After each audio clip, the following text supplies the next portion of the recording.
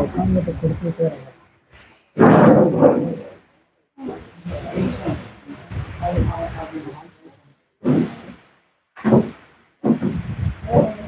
thank you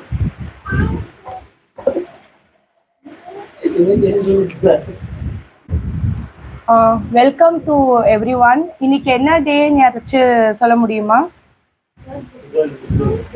world book டே எல்லாருக்கும் happy world book day புக்கோட I am very happy that Sibi வந்து இன்னைக்கு book day அதுமா review பண்ண. சிபி எல்லாருக்கும் தெரியும். புதுசா வந்தவங்கள தவிர எவ்ரி ஒன் நோ சிபி நம்ம நவம்பர் மந்த்ல இருந்து ரெகுலரா வராங்க. வேர்ல்ட் புக் டே அதுமா உங்க ஃப்ரெண்ட்ஸ்க்கு வந்து புக்ஸ் கிஃப்ட் பண்ணுங்க. You something you have to do இல்லையா என்ன ஆக்டிவிட்டி பண்ணலாம் இன்னைக்கு. Something you have to do on world book day இல்லையா டுடே எவ்ரி சண்டே வந்தோமா புக் ரிவ்யூ முடிச்சோமா இல்லாமல் இந்த மாதிரி மந்த்லி ஒன்ஸ் ஏதாச்சும் ஒரு ஆக்டிவிட்டி மாதிரி பண்ணால் it will be interesting so ஏதாச்சும் இருந்தால் சொல்லுங்கள் இன்னைக்கு ஏதாச்சும் ரிவ்யூ முடிச்சதுக்கு அப்புறமாட்டி we can do a small activity based on world book day you can also gift books to your friends read பண்ணுறதுக்கு என்கரேஜ் பண்ணுறதுக்கு ஏதாச்சும் இது பண்ணுங்க. Okay now I introduce Sibi Maran Sibi Maran Sibi graduated from the University of Warwick, UK, with a master's degree in manufacturing management and is currently working as a trainer and consultant in lean and data visualization. However, his interest extends beyond his professional career.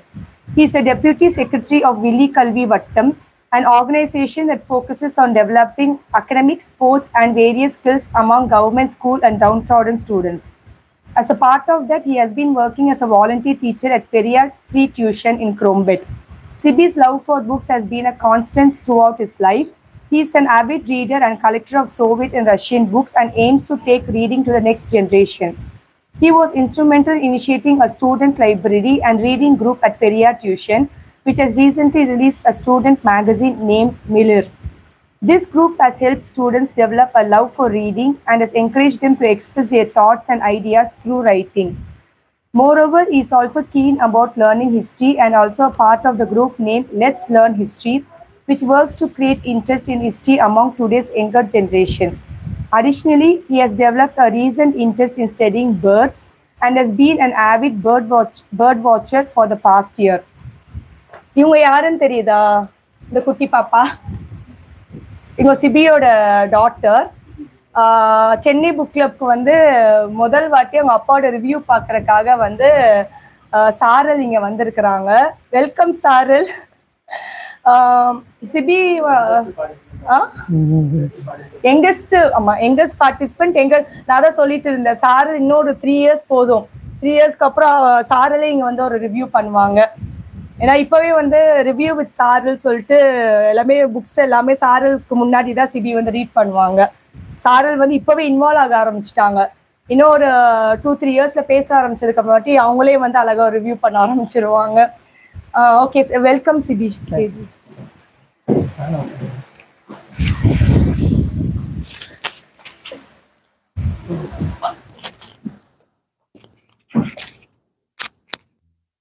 அனைவருக்கும் வணக்கம். அனைவருக்கும் உலக புத்தக தின வாழ்த்துக்கள். இன்னைக்கு அந்த உலக புத்தக தினத்தன்று ஒரு புத்தகத்தை எடுத்துட்டு ரிவ்யூ பண்றது எனக்கு ரொம்ப மகிழ்ச்சியா இருக்கு. எல்லோரும் வாழ்க்கையிலயும் பார்த்தோம்னா அந்த பள்ளிக்கூட காலத்துல வந்து ஆசிரியர்கள் வந்து ஏதோ ஒரு விதத்துல நம்மளுக்கு சில மாற்றங்களை கொண்டு வந்திருப்பாங்க. நம்ம மேல ஒரு தாக்கத்தை ஏற்படுத்தியிருப்பாங்க. அது எல்லோர் வாழ்க்கையிலும் நடந்திருக்கும். நம்ம யோசிச்சு பார்த்தோம்னா. ஆனா சில ஆசிரியர்கள் பார்த்தோம்னா அவங்க மாணவர்களோட வாழ்க்கையை வந்து ஒட்டுமொத்தமா மாத்தி அமைச்சிருப்பாங்க. அதனால ஒரு சமூகத்திலே வந்து ஒரு பெரிய மாற்றம் வந்திருக்கும். அது ஒரு சில ஆசிரியர்களை நம்மளோட தமிழகத்திலே கூட அப்படி பார்க்க முடியும்.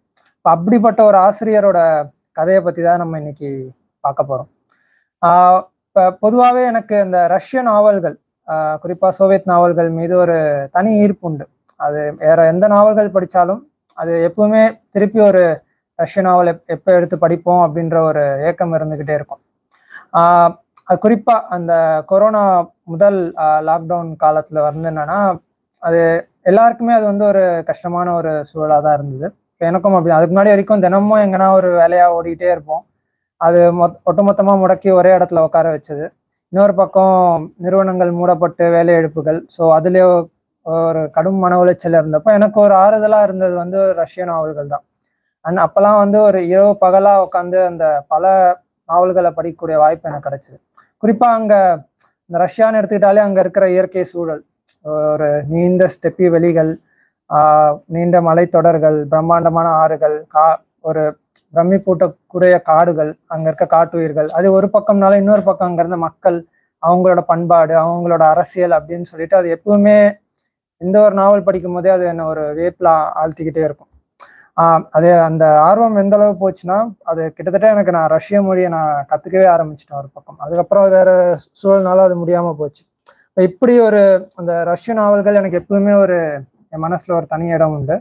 அப்படி எனக்கு ரொம்ப பிடித்த ஒரு ரஷ்ய நாவலை பத்தி தான் இன்னைக்கு நான் பேச போறேன். இந்த நாவலை வந்து ஏன் நான் தேர்ந்தெடுத்தேன் அப்படின்னா கடைசி ஒரு ஒரு ரெண்டு மூணு வாரத்துல வந்து எனக்கு ஒரு மூணு புக்கில் எது பண்ணலாம் அப்படின்னு ஒரு குழப்பம் இருந்துகிட்டே இருந்தது. மூணுமே ரஷ்ய புத்தகம் தான். எது பண்ணலான்னும் போது அப்போ ஏற்கனவே ஜாய்ஸி கிட்ட கூட வேற ஒரு புக்கு சொல்லிட்டு அப்புறமா தான் கடைசியாக இந்த புக்கு நான் மாறினேன். ஏன்னா அதுக்கு ஒரு ரெண்டு காரணங்கள் இருக்கு. அது இந்த புத்தகத்தை படிக்கும் போது எனக்குள்ள ஏற்படுத்தின தாக்கம். இதுவும் இப்போனா அந்த கொரோனாக்கு முன்னாடி ஒரு முறை அந்த துபாய்க்கு சுற்றுலாக்காக போயிருந்த போது எப்பவும் எங்க போனாலுமே ஒரு கையில ஒரு ரெண்டு புத்தகம் எடுத்துட்டு போவேன். அப்ப இந்த புத்தகத்தை எடுத்துட்டு போயிருந்தேன். அப்ப முப்பத்தோராம் தேதி அந்த வெளியே போய் சுத்திட்டு திரும்பி ரூமுக்கு வந்ததுக்கு அப்புறம் டைம் இருந்தமோ இந்த புக் எடுத்து படிக்க ஆரம்பிச்சது. அன்னைக்கு என்னன்னா நைட் வந்து அந்த நியூ இயர் செலிப்ரேஷனுக்கு போகலான்ற ஒரு பிளான் அந்த ஃபயர் ஒர்க்ஸ்லாம் நடக்கும் துபாயில் அதை பார்க்கலாம் ஆனால் இந்த புக்கை படிக்க ஆரம்பிச்சோன்னே இதை வைக்க முடியல. இது ஒரு சின்ன புக்குன்றனால ஒரே சிட்டிங்லேயே அப்படியே உட்காந்து படிச்சு முடிச்சிடலாம் நம்ம. அப்போ அது அந்த அந்த ஆர்வத்தில் என்னன்னா அது அந்த புக் அப்படியே உள்ளே இழுத்துருச்சு. ஸோ அப்போ அந்த நியூ இயர் செலிப்ரேஷனில் கூட ஆர்வம் இல்லாமல் அன்னைக்கு ஃபுல்லாக அதை உட்காந்து படித்து முடித்தேன் அப்போ இன்னொரு பக்கம் என்னன்னா இது ஒரு பக்கம் நாங்கள் அவங்க சொன்ன மாதிரியே பெரியார் டியூஷன்ல வந்து இந்த மாணவர்களுக்கு வந்து கல்வி சொல்லி கொடுத்துட்ருக்கோம். அப்போ அந்த வேலையை செய்யும் போது ஒரு கேள்வி எனக்குள்ளே இருந்துக்கிட்டே இருக்கும். அந்த கேள்விக்கான பதில் வந்து இந்த புக்கில் நான் திரும்பி படிக்கும் போது எனக்கு வந்து கிடச்சிது. அதை நான் உள்ள நான் கதைக்குள்ளே போகும்போது வந்து அந்த விஷயத்த நான் சொல்கிறேன் அப்போ இந்த இரண்டு காரணங்கள்னாலதான் நான் மீதி ரெண்டு புக்கை விட்டுட்டு இந்த புக்கை வந்து நான் இன்னைக்கு ரிவ்யூ பண்ணலான்னு வந்து தேர்ந்தெடுத்தது. இந்த புத்தகத்தை பார்த்தோன்னா இது வந்து நாவல்னாலுமே ஒரு குறு நாவல் தான். ஒரு எண்பது பக்கங்கள் கொண்ட ஒரு புத்தகம் தான் இதை நம்ம ஒரே சிட்டிங்கில் முடிச்சிடலாம். அந்த இப்போ நீங்கள் எடுத்தீங்கன்னா அதை வந்து முடிக்காம நம்மளால வைக்க முடியாது. இப்போ இது வந்து எப்போ வெளியே வருதுன்னா ஆயிரத்தி தொள்ளாயிரத்தி அறுபத்தி ரெண்டுல முதல்ல ரஷ்யா ரஷ்ய மொழியில வந்து இது வெளியே வருது. ஒரு மூன்று வருடங்களே வந்து இந்த ஆங்கிலத்தில் வெளியே வந்துடுது அதுக்கப்புறம் பல மொழிகளில் வந்து வருது. இப்போ வந்து அது வந்து நம்ம என்சிபிஹெச்ஓ பாரதி புத்தகாலயம் ரெண்டு பேருமே பதிப்பு போட்டிருக்காங்க. அது எழுத்தாளர் பார்த்தோம்னா சிங்கிஸ் ஐட்மா ஐட்மாத்தவ் ஸோ இவர் வந்து ஒரு ரஷ்ய கிர்கிஸ் எழுத்தாளர். ஓகே சோவியத் யூனியனுக்குள்ளே கிர்கிஸ்தான்றது ஒரு த சின்ன நாடு. ஸோ அங்கே பிறந்து வாழ்ந்தவர். ஸோ ரஷ்ய மொழிகளில் ஒரு ஒரு புகழ்பெற்ற எழுத்தாளர். பொதுவாக ரஷ்ய நாவல்கள் படித்தவங்க வந்து இவரோட புத்தகத்தை வந்து படிக்காமல் இருந்திருக்க மாட்டாங்க. இவரோட புத்தகங்கள்லேயே வந்து இந்த ஜமீலா அப்படின்ற ஒரு நாவல் வந்து அதிகமாக நிறைய பேர் வாசிச்சிருக்கக்கூடிய நாவலாக இருக்கும். பிரபலமான நாவல். அப்ப இந்த இந்த நாவல் எடுத்துக்கிட்டோம் அப்படின்னா இதுல கதை எப்படி சொல்லப்படுதுன்றது இருக்கு. அது ஒவ்வொரு எழுத்தாளருக்குமே வந்து என்னன்னா அந்த கதை சொல்றதுல வந்து ஒரு தனி பாணி அவங்க ஒரு விதத்துல அவங்க வந்து கதை சொல்லுவாங்க. அப்படி சிங்கி சைத்மாவை எடுத்துக்கிட்டாலுமே அவரும் ஒரு தனி பாணி இருக்கு. அது ஜமீலா வாசிச்சவங்களுக்கு அந்த அந்த பாணி வந்து தெரிஞ்சிருக்கும். இதுலயும் வந்து அதே பாணியை தான் அவர் பயன்படுத்துறாரு. ஒரு ஒரு பிரதான கதாபாத்திரத்தை எடுத்துக்கிட்டு அந்த கதாபாத்திரம் வந்து அவங்களோட பார்வையில இருந்து அந்த கதை வந்து சொல்லப்பட்டுக்கிட்டே இருக்கும். ஜமீலாலையும் அதே தான் இந்த இதுலயும் அல்தினாய் அப்படின்ற ஒரு பிரதான கதாபாத்திரம் வந்து என்னன்னா நம்ம கூட உரையாடும். அவங்க வந்து அவங்க அவங்களோட கதையை வந்து நம்ம சொல்லுவாங்க. கதை ஃபுல்லாவே வந்து ஒரு தீராத ஒரு ஏக்கம் வந்து இருந்துகிட்டே இருக்கும் நம்ம. அப்படிதான் இந்த வந்த இந்த கதை வந்து சொல்லப்படுது நான் கதை திறனாய்வுன்னு எடுத்துக்கிட்டோம் அப்படின்னா ஒரு நாவல் திறனாய்வுனா நான் எப்பவுமே பண்ற முறைன்றது வேற. எப்பவுமே நான் கதையை முழுக்க சொல்ல மாட்டேன். அந்த ஒரு கதை திறனாய்வுக்கு சில அளவுகோல்கள் நான் வச்சுக்கிட்டு அதன்படி தான் நான் வந்து திறனாய்வு பண்ணுவேன் ஆனா இந்த புத்தகத்தை பொறுத்த வரைக்கும் நான் அப்படி பண்றதா இல்லை. இந்த கதையை வந்து முழுக்க சொல்லணும்னு தான் இருக்கேன். ஏன்னா அப்பதான் வந்து என்னன்னா இந்த புத்தகம் வந்து இந்த புத்தகத்துக்கான ஒரு சரியான முறையா இருக்கும். அந்த அந்த கதையை முழுக்க சொல்லி அதுல இருந்து எனக்குள்ள ஏற்ப அதுல இருந்து நான் என்ன எடுத்துக்கிறேன் அப்படின்றத நான் அவங்களோட பகிர்ந்துக்கணும்னு நினைக்கிறேன். சரி நம்ம இந்த அறிமுகத்துல இருந்து கதைக்குள்ள போகலாம். இப்போ ஒரு நாவலை வந்து எப்படி வந்து நம்ம தொடங்குறதுன்றது வந்து ஒரு பெரிய சவால் எப்பவுமே எழுத்தாளர் ஏன்னா சில பக்கங்களுக்குள்ள வந்து என்னன்னா வாசகரை வந்து உள்ள எழுத்துக்கிட்டு போகணும். அப்படி இல்லை அப்படின்னா அவங்களால அதை வந்து தொடர்ச்சியா படிக்க முடியாது. அப்படி எனக்கு என்ன- எனக்குமே அனுபவங்கள் இருக்கு. நிறைய நாவல்களை எடுத்து ஒரு பத்து பக்கங்களுக்கு அப்புறமா அதை உள்வாங்க முடியாம நான் படிக்காம வச்சது ஆனா அதுதான் ஒரு சவாலான காரியம். அப்ப இந்த புத்தகத்தை பொறுத்த வரைக்கும் என்னன்னா சில பக்கங்களே வந்து அ- எழுத்தாளர் வந்து உங்களை உள்ள எடுத்துட்டு வந்துடுறாரு. இப்ப இந்த கதை எப்படி தொடங்குது அப்படின்னா ரஷ்யா நகரத்துல வந்து ஒரு ஓவியர் வந்து வரைஞ்சுக்கிட்டு இருக்காரு. ஒரு ஓவியத்தை. இரவு ஃபுல்லா வரைகிறாரு விடியுது. விடிஞ்சதுக்கு அப்புறம் அவர் வரைஞ்ச ஓவியத்தை பாக்குறாரு. அது ஆனா இன்னும் முழுசா முடியல. அது வந்து ஒரு இடைப்பட்ட இதுல தான் இருக்கு. அப்ப என்னன்னா அந்த அவர் ஓவியத்தை பார்க்கும்போது இது எப்படி வந்து முடியும்ன்றது தெரியல அவருக்கு. எப்பவுமே வந்து ஒரு க- ஒரு கதையோ ஒரு ஆர்ட் ஃபார்ம் எடுத்துக்கிட்டோம் அப்படின்னா ஒரு எழுதும் போதோ வரையும் போதோ என்னன்னா அது எப்படி போய் ஃபினிஷ் ஆகும்னு நம்மளால சொல்ல முடியாது. ஏன்னா அது அந்த கதையோ இல்ல அந்த ஓவியத்துக்கு பின்னாடி இருக்கிற ஒரு விஷயமா அது நம்மள அப்படியே இழுத்துக்கிட்டே போகும். அப்ப இவருக்கும் அது வந்து எப்படி முடியும்ன்றது தெரியல. ஆனா என்னன்னா இந்த ஏன் இந்த ஓவியத்தை வரைய ஆரம்பிச்சோம்? ஓவியத்துக்கு பின்னாடி இருக்கிற கதை ஒண்ணு இருக்கு. அது வந்து இவரை வந்து உலுக்கிக்கிட்டே இருக்கு. அப்ப இந்த கதையை வந்து யாருக்கிட்டயாவது சொல்லணும் இறக்கி வைக்கணும் அப்படின்னு நினைக்கும் போதுதான் அதை வந்து நம்ம கிட்ட சொல்ல ஆரம்பிக்கிறாரு. அப்படி அப்ப என்னன்னா அவர் அப்படியே நம்ம நம்மள வந்து என்னன்னா அந்த நகரத்துல இருந்து அவரோட அவர் பிறந்து வளர்ந்த கிராமத்துக்கு வந்து நம்மளை கூட்டிட்டு போறாரு. இந்த கிராமத்து பேர் வந்து குர்குரே. அது வந்து அது கிர்கிஸ்தான்ல ஒரு வெளி உலக தொடர்பற்ற ஒரு ஒரு பகுதி. ஆனா அந்த கிராமம் எடுத்துக்கிட்டோம்னா அது வந்து ஒரு ஒரு இந்த ரஷ்யாவோட இயற்கையை நம்ம விவரிக்கும் போது எவ்வளோ ஒரு வளமா எவ்வளோ ஒரு அழகா இருக்குமோ அதெல்லாம் இருக்கக்கூடிய ஒரு கிராமம். ஒரு மலை அடிவாரத்துல இருக்கு. மலையிலேருந்து வர ஆறுகள் எல்லாம் வந்து ஒரு சேர்ற ஒரு இடம்.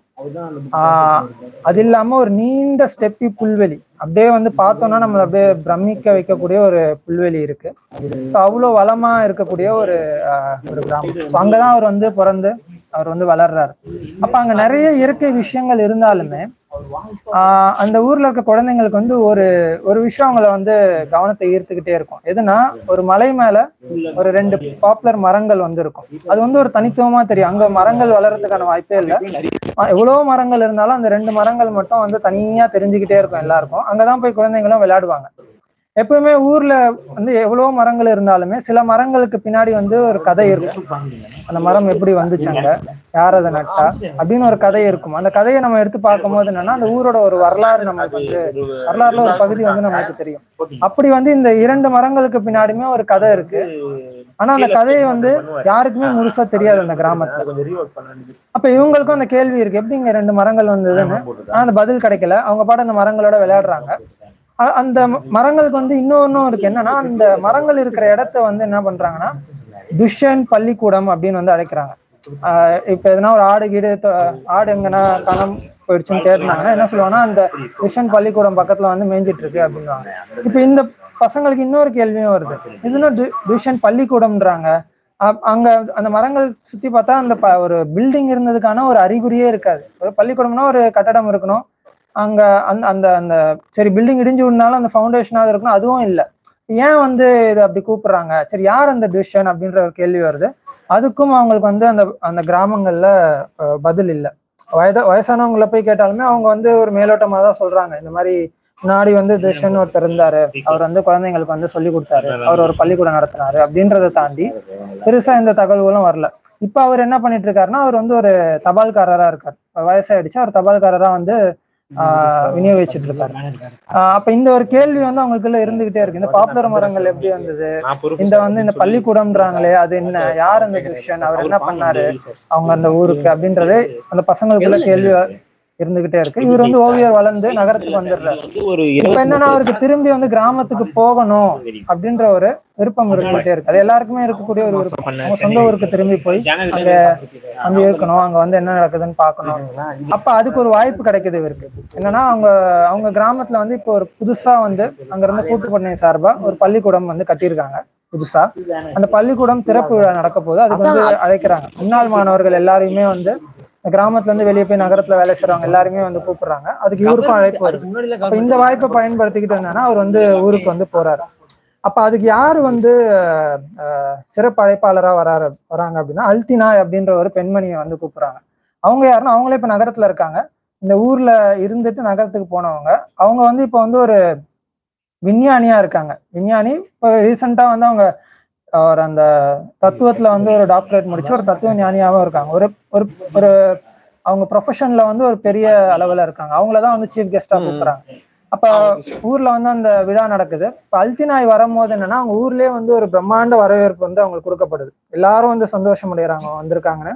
இப்போ பள்ளிக்கூடம் திறக்கப்பட்டு என்னன்னா ஒரு விருந்து நடக்குது. அங்க வந்த முன்னாள் மாணவர்களுக்கும் அந்த அல்தினாய்க்கும்.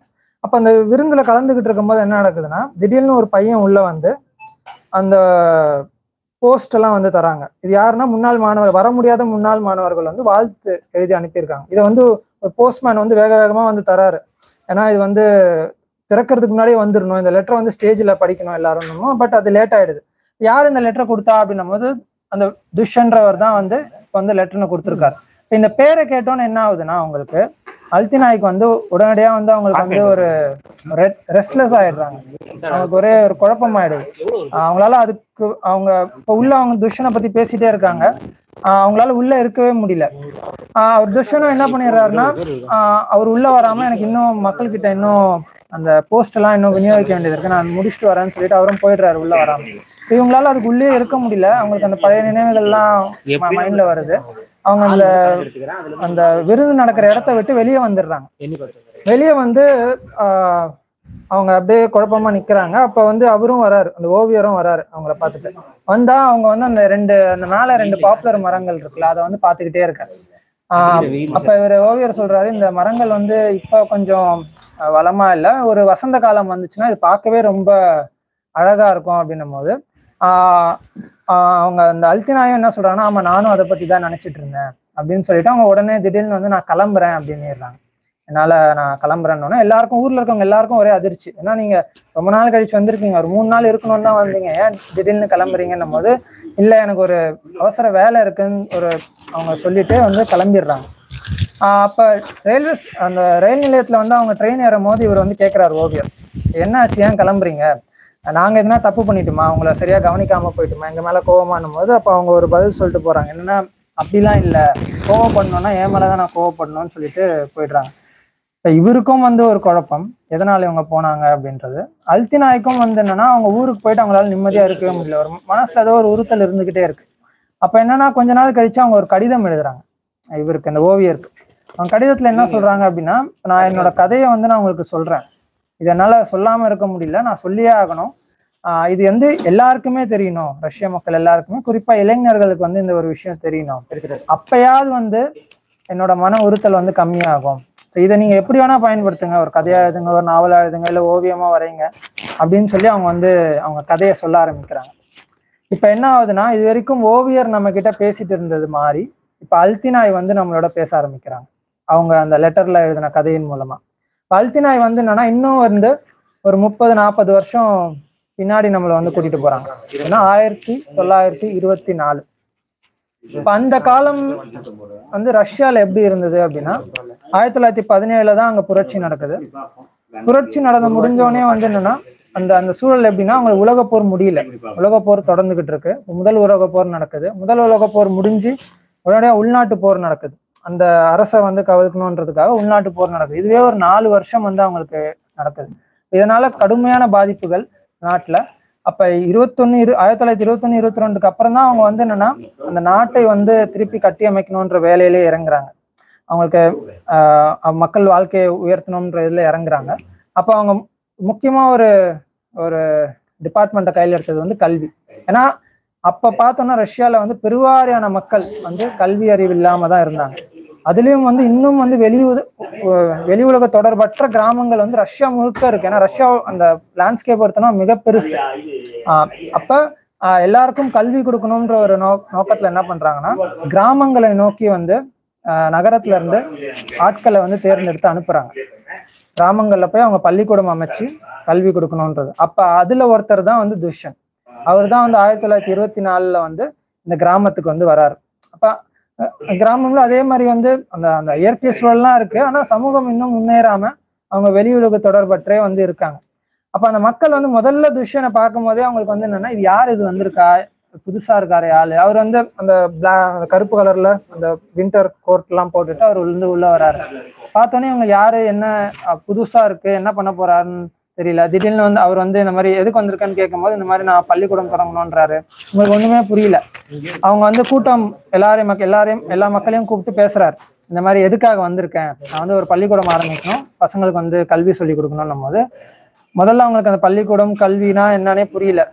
இன்னொன்று பக்கம் ஏ- ஏன் பள்ளிக்கூடம்? எதுக்கு வந்து கல்வி தேவை? நாங்கள் விவசாயம் பண்ணுறோம் எங்கள் பசங்களுக்கும் நாங்கள் விவசாயம் சொல்லி கொடுப்போம். அவங்களும் விவசாயம் பண்ண போகிறாங்க நீ புதுசாக என்ன சொல்லி கொடுக்க போற எங்களுக்கு எங்களுக்கு எதுக்கு கல்வி அப்படின்றது தான் அவங்களோட இதுவாக இருந்தது. ஆனால் இறுதியாக என்னன்னா அவங்க அது வந்து ஒரு அரசோட உத்தரவு.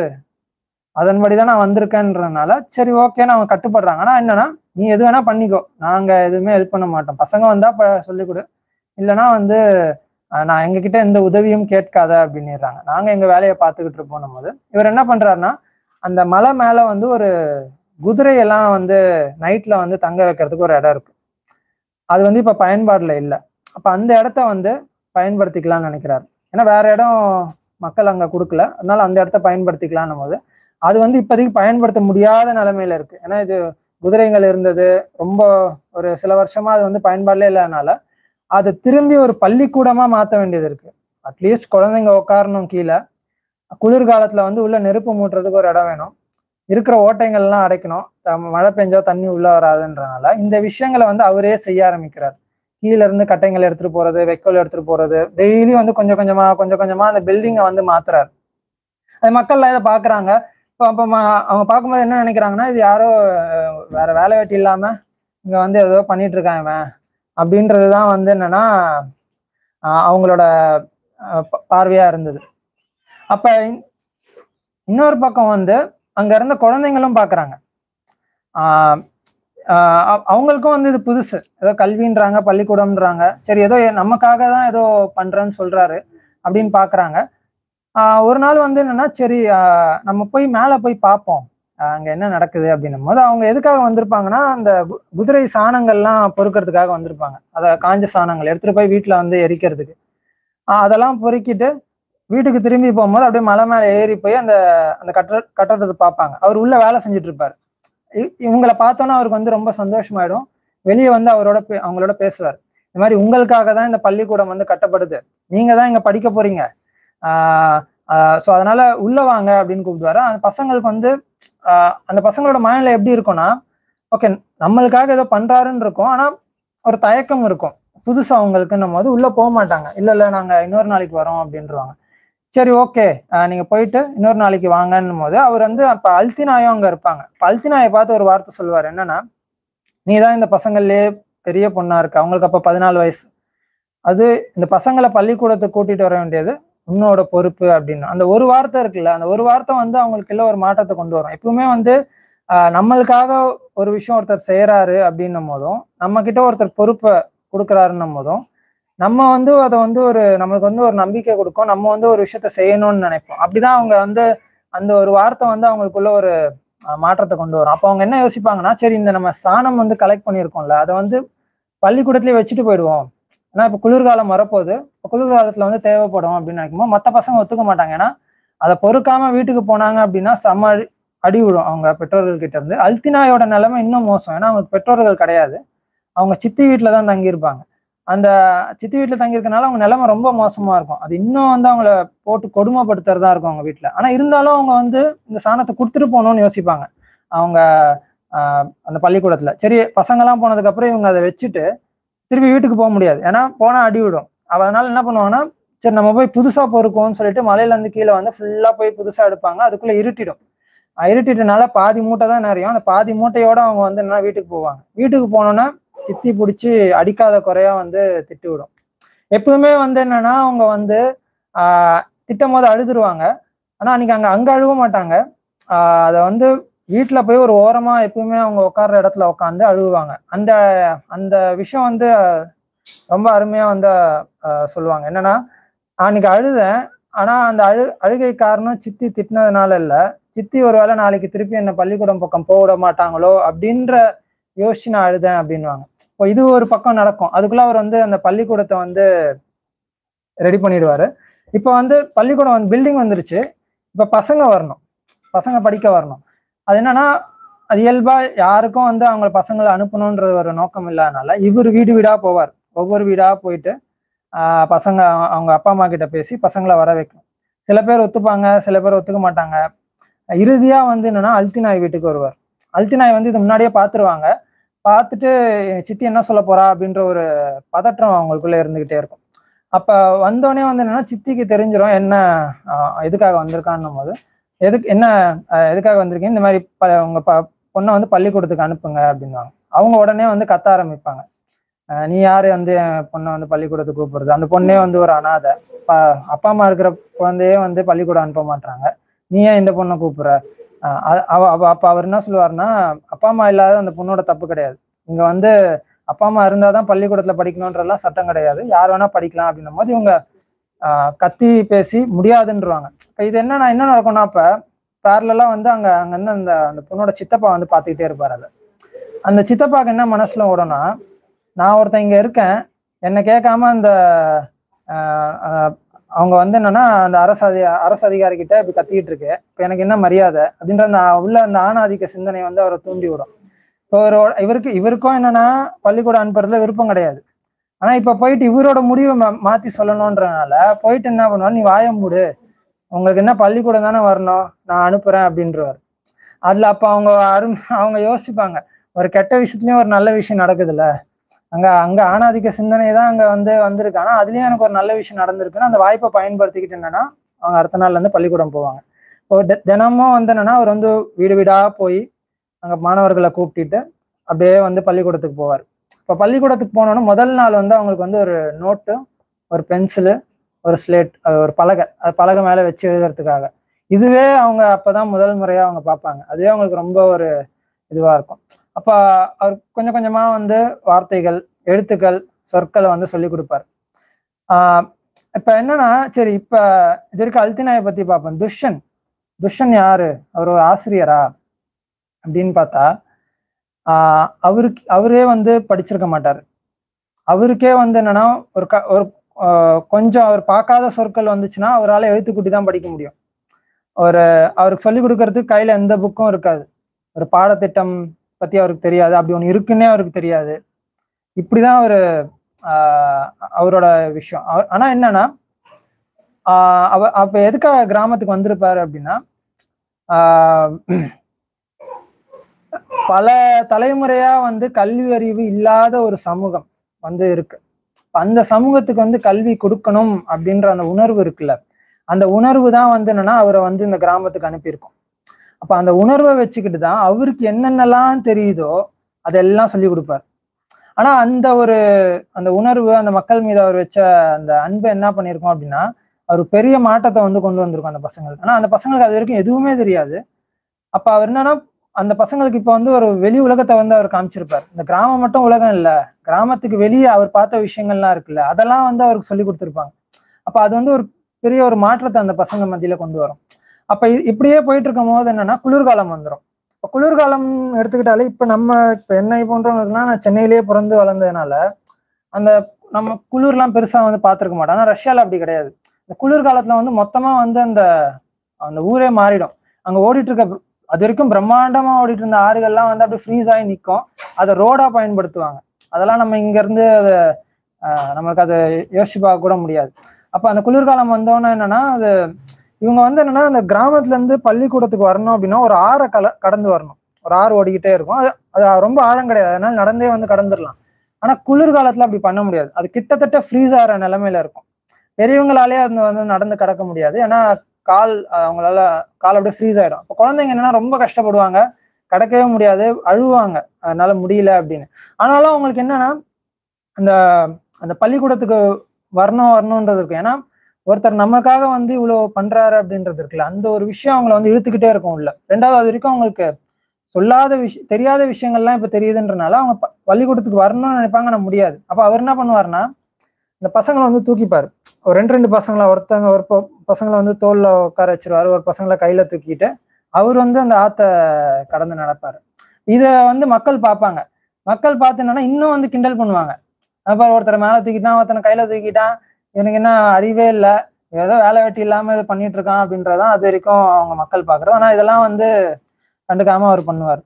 அப்ப என்னன்னா அது அந்த அந்த ஆற கடக்கிறது வந்து என்னன்னா அந்த மக்கள் நினைச்சிருந்தா ஈஸியா அந்த டைம்ல பண்ணிருக்கலாம். அவங்களுக்கு அது புரியாதனால பண்ணல. ஒரு மூணு மரங்களை வெட்டி போட்டிருந்தாங்கன்னா அவர் சின்ன ஒரு பாதை உருவாயிட்டு இருக்கும். ஆனா அவங்க அப்ப அதெல்லாம் அவங்களுக்கு பண்ண மாட்டாங்க. அப்ப இவங்க என்ன முடிவு பண்ணுவாங்கன்னா நம்மளே உருவாக்கிடலாம்.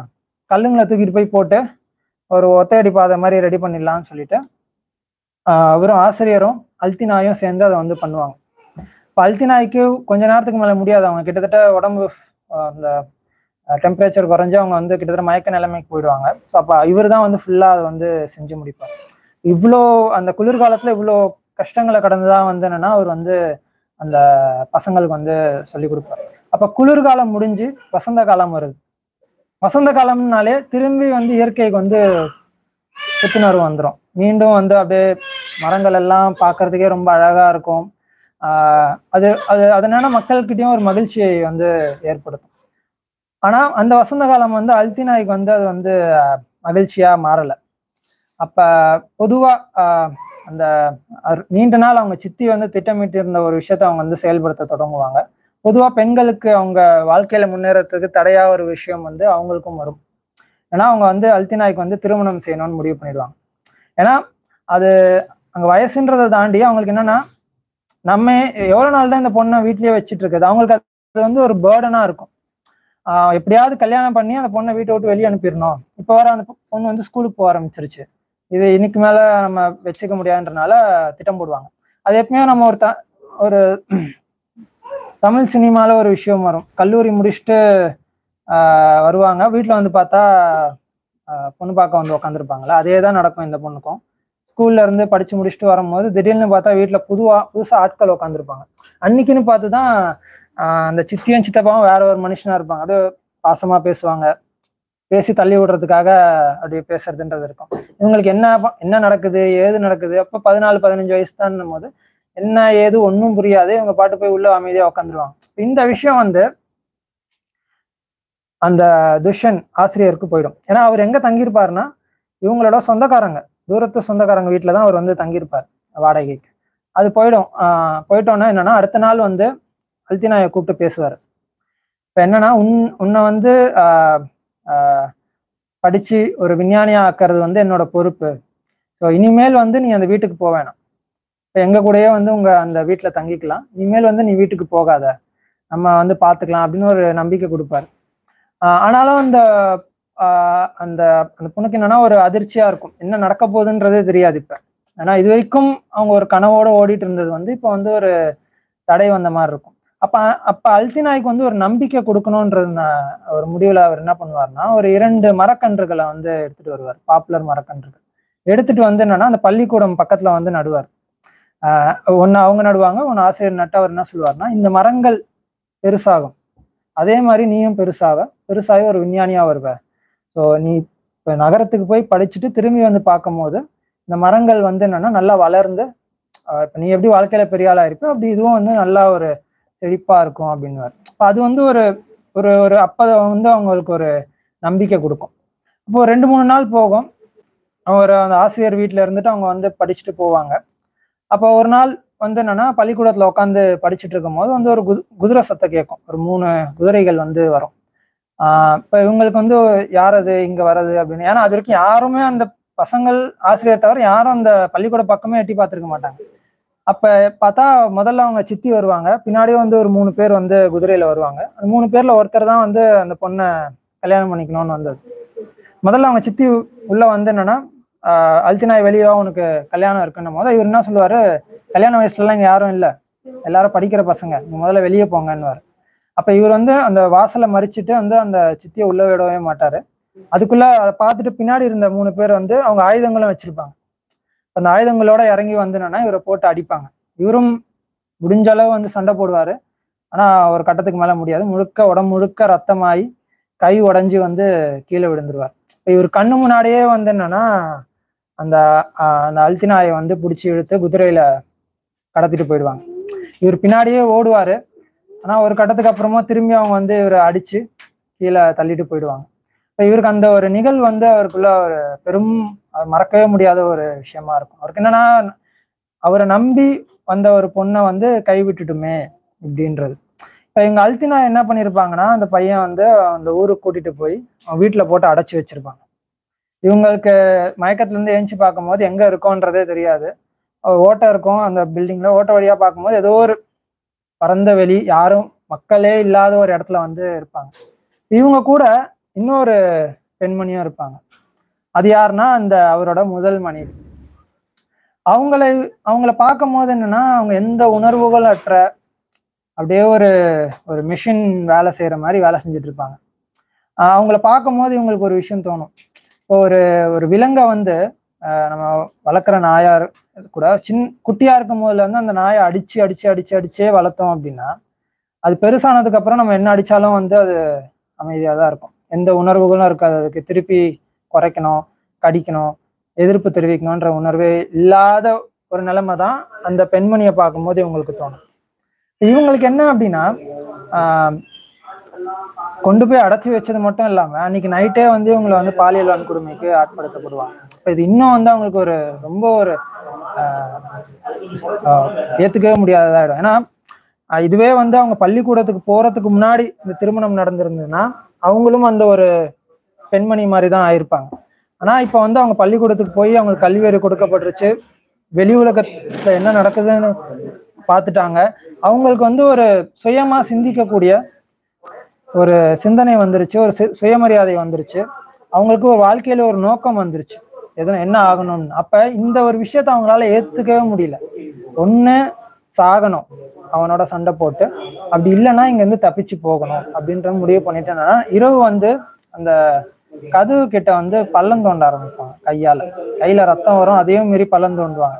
விடியும் போது என்னன்னா அந்த பள்ளம் வந்து கை போற அளவு தான் வந்திருக்கும். அவங்களுக்கு இன்னும் வந்து டவுன் ஆயிடும். அப்ப வந்து என்னன்னா அந்த அந்த ஆள் வந்து முடிவு பண்ணுவோம் இனிமேல் இங்க இருக்க வேணாம். இன்னும் வேற இன்னும் கொஞ்சம் தள்ளி போயிடலாம் முடிவு பண்ணும்போது இவங்களுக்கு எப்படியாவது வந்து தப்பிக்கணும்ன்றது இருக்கும். இந்த பள்ளம் தோணுனதை வந்து அந்த பெண்மணியும் பார்த்துருவாங்க ஆனா அவங்க எதுவும் சொல்ல மாட்டாங்க. அவங்க பாட்டு அவங்க வேலையை செஞ்சுட்டு இருப்பாங்க. அப்ப திரும்பி வந்து ஒரு மூணு குதிரை சத்தம் கேட்கும். இவங்களுக்கு. முதல்ல அது வந்து ஆஹ் பிரம்மையா என்னன்னு தெரியாது. அதே மாதிரி அந்த பள்ளிக்கூடத்துல கேட்ட மாதிரியே வந்து ஒரு மூணு குதிரை சத்தம் வந்து வரும். ஆனா இப்போ அந்த மூணு குதிரையில வர்றது வந்து வேற ஆட்கள். அவங்க அந்த திருப்பி அந்த கதவுல இருந்த ஓட்ட வழியா பார்க்கும்போது அந்த குதிரை வந்துகிட்டே இருக்கும் மூணு குதிரைகள். அதுல நடுவுல வர்றது யாருன்னா துஷ்யன் வருவார் அவர் க அடிப்பட்ட கையில கட்டு போட்டிருக்கோம். பக்கத்துல ரெண்டு பேர் வந்து காவலர்கள் வருவாங்க. இவர் அந்த ஒரு இரண்டு நாட்கள்ல வந்து மாவட்ட மாவட்ட தலைநகருக்கு போய் அங்க வந்து பேசி வந்து காவலர்களை வந்து அழைச்சிட்டு வந்திருப்பார். அப்ப அவங்க மூணு பேரும் வந்து என்னன்னா இவங்களை வந்து மீட்டு கூட்டிட்டு போவாங்க. அந்த ரெண்டு பேரை வந்து காவலர்கள் வந்து அந்த ஆளை வந்து கைது பண்ணிட்டு போயிடுவாங்க. இவர் வந்து அந்த அல்தினாயை வந்து கூட்டிட்டு போவாங்க அப்ப இவங்க குதிரையில போயிட்டே இருக்கும்போது திடீர்னு ஒரு பின்னாடி இருந்து ஒரு ம- மனித அலறல் வந்து கேட்கும். அது யாருன்னா அந்த இந்த பெண்மணி இருந்தாங்களா அந்த முதல் மனைவியா? அவங்க வந்து அப்படியே கத்திக்கிட்டே பின்னாடி ஓடி வருவாங்க. அது என்னன்னா அது வரைக்கும் அவங்களுக்கு உள்ள இருந்த அந்த ம- மனக்குமுறல் இருக்குல்ல அது அன்னைக்கு வெடிச்சு வெளியே வந்திருக்கும். அவனை எப்படியாவது கூட்டிட்டு போயிடுங்க. அவன் பாதம் கூட இந்த பூமியில படக்கூடாது.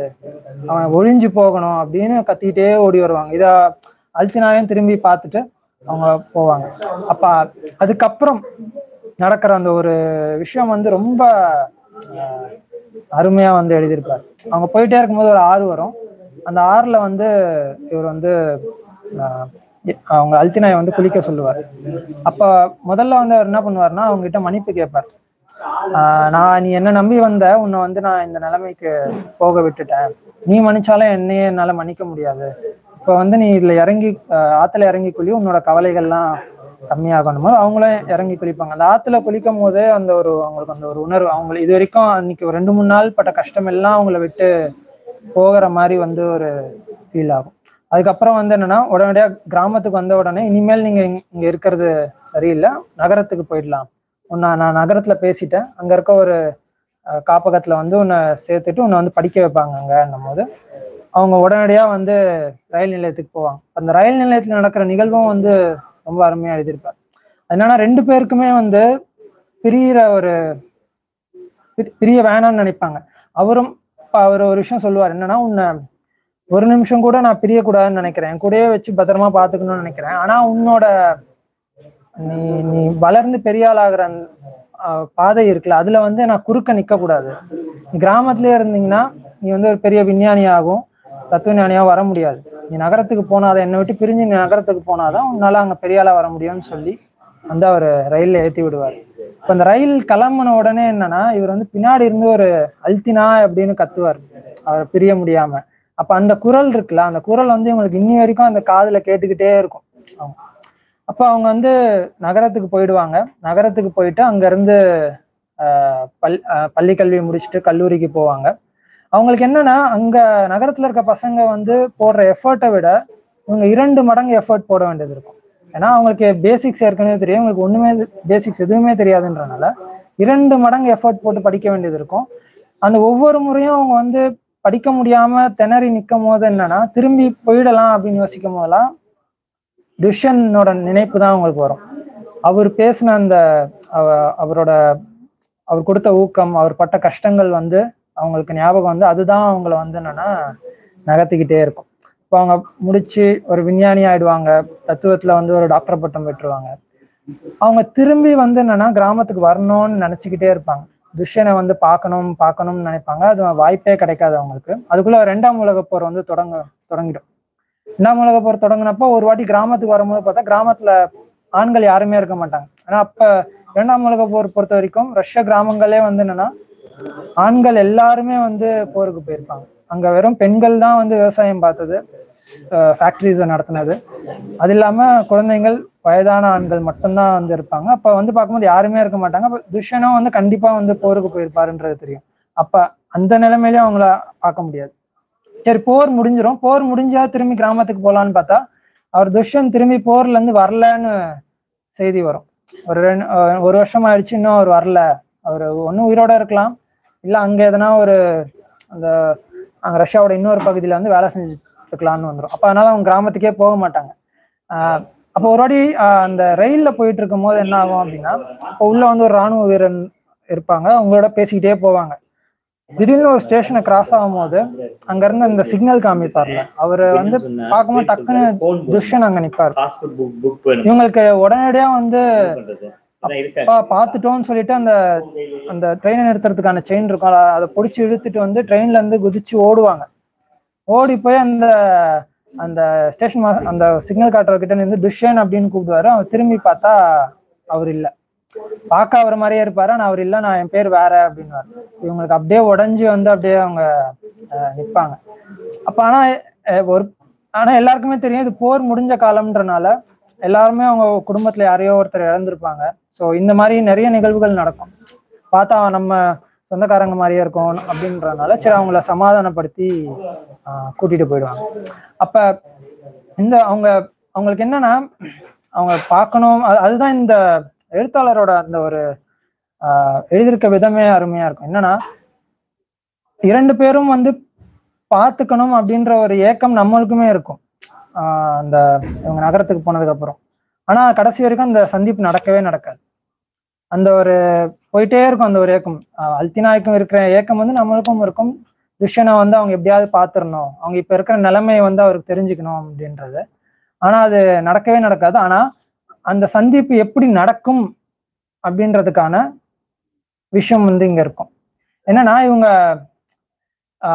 கிராமத்துக்கு போயிட்டு அந்த பள்ளிக்கூட திறப்பு விழாவை முடிச்சுட்டு அவங்க ஒரு மன உளைச்சலோட தான் திரும்பி வருவாங்க. அந்த மன உளைச்சல் ஏன் அப்படின்னு இருந்துச்சுன்றத வந்து இந்த அந்த கடிதத்துல எழுதுவாங்க கடைசியா. என்ன அப்படின்னா அவங்களுக்கு அவங்க என்ன சொல்லுவாங்கன்னா என்ன வந்து அவங்க சிறப்பு விருந்தினரா கூப்பிட்டதே தப்பு. நான் வந்து ஓகே ஒரு விஞ்ஞானியா இருக்கேன் தத்துவ விஞ்ஞானியா இருக்கேன். என்ன வந்து அவங்க சிறப்பு விருந்தினா கூப்பிட்டுக்கவே கூடாது. என்ன மாதிரி பலரை வந்து உருவாக்குனார்ல துஷன் அவர் ஆசிரியர் கிடையாது. ஆனா என்ன மாதிரி வந்து பல பேரை உருவாக்குனவர் அவர் தான் இப்போ வந்து அவர் தபால் போடுற வேலையை செஞ்சுட்டு இருக்காரு அவரை தான் வந்து என்னன்னா நீங்க வந்து சீஃப் கெஸ்டா கூப்பிட்டு உட்கார வச்சிருக்கணும். ஸோ நான் போய் அங்க உக்காந்ததே வந்து என்னன்னா எனக்கு வந்து ரொம்ப ஒரு அவரை விட்டுட்டு நம்ம அந்த இடத்துல உக்காந்துட்டுமேன்றதே வந்து எனக்கு ரொம்ப ஒரு மன உறுத்தலா இருக்கு. இன்னொரு பக்கம் வந்து நீண்ட நாள் வந்து நான் கிராமத்துக்கே வந்து அவர் துஷன் இல்லைன்னா கூட நான் கிராமத்துக்கு வந்திருக்கணும். அது துஷன் இல்லைன்றனால நான் கிராமத்துக்கே வரல. அப்ப அந்த ஒரு அந்த ஒரு மன உறுத்தல் எனக்குள்ள இருக்கு.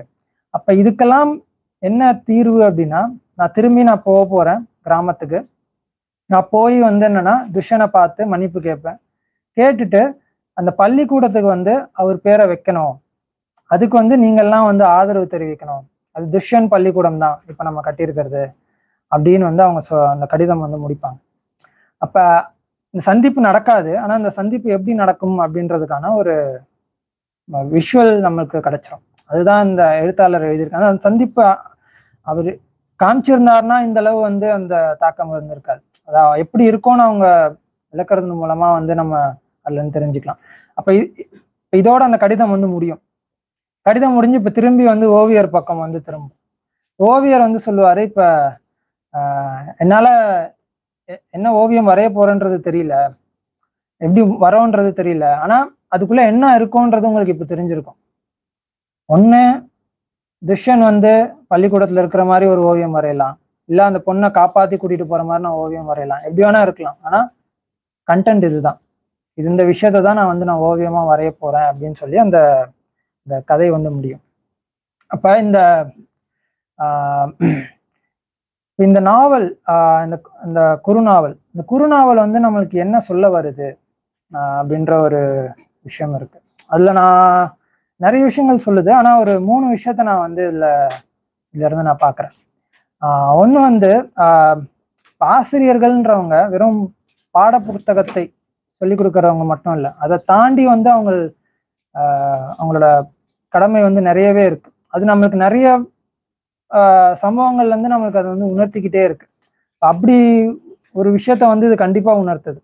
ஏன்னா அவருக்கு அவர் அடிப்படையில ஒரு ஆசிரியரே இல்லை. ஆனா ஆசிரியர் பணியை வந்து அங்க செஞ்சிருக்காரு. அந்த வெறும் வந்து அவங்களுக்கு வந்து ஒரு கல்வின்றத சொல்லி கொடுக்கறது மட்டும் இல்லாம அந்த அந்த அல்தினாயின்றவங்களுக்கான ஒரு பாதையை வந்து வகுத்து கொடுத்துருக்காரு.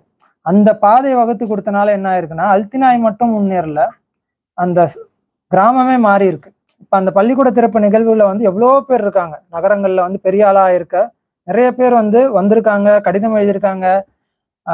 இது ரெண்டாவது பள்ளிக்கூடம் அங்க திறக்கப்படுதுன்றதுதான் இதுல இருந்து வருது. அப்ப அது ஒரு அல்தினாய் மட்டும் முன்னேறல. அந்த சமூகமே வந்து மாறி இருக்கு அதுக்கு வந்து ஆசிரியர் வந்து காரணமா இருந்திருக்காங்க இன்னொரு பக்கம் என்னன்னா இப்போ நான் இந்த நாவலை ரிவ்யூ பண்ண போறேன்னு என்னோட உறவினர் ஒருத்தவங்க வந்து கமெண்ட் எனக்கு அனுப்பியிருந்தாங்க. நான் ரிவ்யூ படித்தேன் அந்த புக்கை பற்றி இப்போ அது என்னன்னா நம்ம நம்ம வாழ்க்கையில் எவ்வளோ ஆசிரியர்கள் எத்தனையோ பேர் நம்ம வாழ்க்கையில் வந்து நம்ம நம்மளுக்கு வந்து நிறைய மாற்றங்களை ஏற்படுத்தியிருப்பாங்க. அது வந்து என்னன்னா இப்போ எனக்கு வந்து நினைவுபடுத்தி பார்க்குறேன் அவங்களுக்கு வந்து நம்ம நிறைய கடமைப்பட்டிருக்கோம் அப்படின்றாங்க. அப்போ ஒரு நாவல் செய்யக்கூடிய பணி இருக்குல்ல. ஒரு நாவல் இலக்கியம்.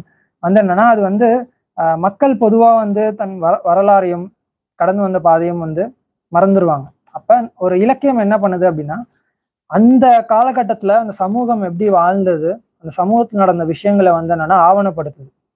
அது இமயம் கூட சொல்லுவார் நான் வந்து நாவல் எழுதல.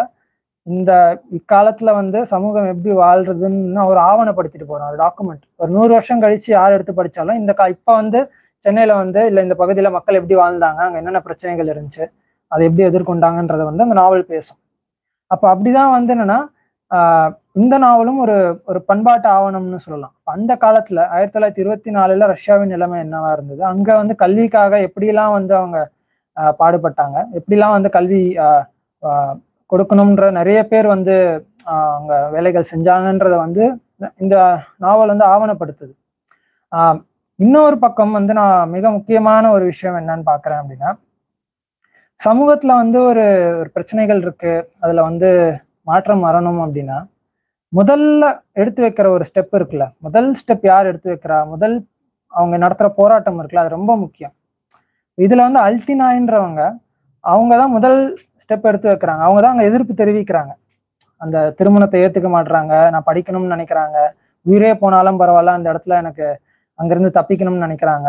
அவங்க போய் அங்க அவங்களுக்கு கல்வி அந்த பதினஞ்சு வருஷமா கல்வியே இல்லைனாலுமே அவங்க வந்து கஷ்டப்பட்டு படிச்சு டாக்டரேட் பட்டம் வாங்குறாங்க. அப்ப இந்த எ- அவங்க எடுத்து வச்ச முதல் ஸ்டெப் அவங்க கே- அவங்க காட்டின முதல் எதிர்ப்பு தான் வந்து என்னன்னா அந்த சமூகமே வந்து மாறிச்சு அந்த கிராமமே வந்து மாறிச்சு. இதை தான் நம்ம வந்து அயலி படத்துலயும் பாக்குறோம். அயலி படத்துல சமூகம் வந் அப்ப அது வரைக்கும் பிற்போக்கா இருந்த சமூகம் வந்து அந்த பொண்ணு வந்து எடுத்து வைக்கிற முதல் ஸ்டெப் அதை ஏத்துக்கல. என்னை படிக்க விட மாட்டீங்கன்றத அந்த பொண்ணு ஏத்துக்கல. நான் வந்து டாக்டர் ஆகணும்ன்றது இருக்குல்ல. அந்த எடுத்து வச்ச முதல் ஸ்டெப் தான் வந்து என்னன்னா இது வந்து அந்த அந்த கிராமம் முன்னேறதுக்கான காரணமா இருந்தது. அதுதான் வந்து நம்ம இங்கேயும் பார்க்குறோம் அப்போ இதுதான் வந்து என்னன்னா இந்த நாவல்லேருந்து நான் எடுத்துக்கிட்ட ஒரு விஷயமா இருக்கு. இந்த நாவல் பொறுத்த வரைக்கும் எனக்கு ஒரு இருந்த குறைகள்னு பார்க்கணும்னா ஒரே ஒரு விஷயம்தான். அது என்னன்னா இது குறு நாவலா இல்லாமல் ஒரு நாவலா இருந்திருக்கலாம். ஏன்னா அங்க நிறைய விஷயங்கள் நடந்திருக்கும். அல்தினாய் மட்டும் இல்லை இன்னும் நிறைய பேர் இருந்திருப்பாங்க. அவர் செஞ்ச வேலைகள் இன்னும் நிறைய இருந்திருக்கும். அதெல்லாம் இன்னும் விரிவா எழுதியிருக்கலாம் அப்படின்றது தான் வந்து என்னோட நான் விருப்பப்பட்டதுல இருந்து ஸோ அதான் இந்த இந்த நாவலை வந்து எல்லாரும் வாசிக்கணும்னு நினைக்கிறேன். ஒரு ரொம்ப நேரம் எடுக்காது. எண்பது பக்கம்ன்றனால ரொம்ப எளிமையாக தான் இருக்கும். ஆரம்பிச்சா ஈஸியாக ஒரே சிட்டிங்கில் வந்து நம்ம படித்து முடிச்சிடலான்றது அதனால் எல்லாரும் வாசித்து இந்த நாவல் கொடுக்கக்கூடிய அனுபவத்தை வந்து நம்ம எல்லாரும் பெறணும்னு நினைக்கிறேன். ஸோ இந்த உலக புத்தக தினத்தன்று இந்த ஒரு புத்தகத்தை எடுத்து திறனாய் செய்கிறது எனக்கு ரொம்ப மகிழ்ச்சியாக இருக்குது அதுக்கு வாய்ப்பு கொடுத்த ஜாய்சி அவங்களுக்கும் சென்னை புக் கிளப் ஒருங்கிணைப்பாளர்களுக்கும் நன்றி தெரிவிச்சுக்கிறேன். ஸோ அதே மாதிரி நான் பேசினதை நேரம் அமைதியாக உட்காந்து கேட்டவங்களுக்கும் என்னுடைய நன்றி.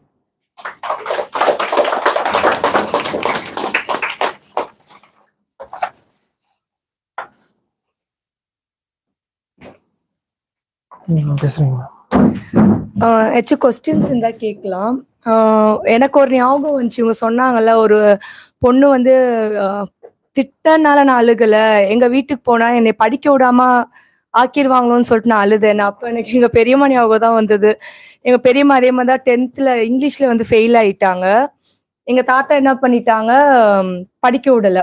ஃபெயில் ஆகிட்டேன் உனக்குலாம் அதுக்கு படிப்புன்னு சொல்லிட்டு நிப்பாட்டிட்டாங்க. அவங்க இன்னைக்கு வரைக்கும் ஃபீல் பண்ணுறாங்க ஃபெயில் ஆனால் சரி நல்லா படித்து அட்டெம்ப்ட்ல பாஸ் பண்ண திருப்பி லெவன்த் டுவெல்த் படி என்கரேஜ் பண்ணியிருந்தா இன்னைக்கு அவங்களும் டிகிரி ஹோல்டர் ஆயிருப்பாங்க. இன்னமும் அவங்க குடும்பம் நல்லா இருந்திருக்கும். இன்னைக்கு வரைக்கும் அவங்க சொல்லுவாங்க எங்கள் அப்பா நான் ஃபெயிலான ஒரே சப்ஜெக்ட் ஃபெயிலான காரணத்துக்காக நீ படிப்பே பத்தாத்தோட முடிச்சுட்டாங்க. டென்த் டிஸ்கன்யூ மாதிரி ஆயிடுச்சு ஸ்கூல் கூட முடிக்க முடியல. காலேஜ்னா என்னன்னே தெரியாதுன்னு சொல்லிட்டு இன்னைக்கு வரைக்கும் ஃபீல் பண்ணுவாங்க அவங்க ரொம்ப. அந்த மாதிரி நான் சொல்லும் போதே உங்களுக்கு நிறைய பேர் நினைவுக்கு வரும் இல்லையா? நம்ம உங்க சொந்தக்காங்க ஃப்ரெண்ட்ஸ்லாம் நீங்க நிறைய இப்படி கேள்விப்பட்டிருப்பீங்க. ரொம்ப இன்ட்ரெஸ்டிங்கா இருந்துச்சு இன்னைக்கு சிபியோட ரிவ்யூ கொஸ்டின்ஸ் கேட்கலாம்.